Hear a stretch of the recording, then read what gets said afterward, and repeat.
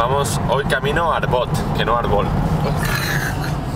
Aquí tenemos a Xavi conduciendo, El en la boca, como no no. puede cagar.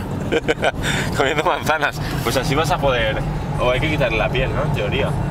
Pero la manzana no es astringente. Mira, mira el caballo, mira el caballo. Depende, si le quitas solo la piel es lo tiene el efecto contrario, ¿no?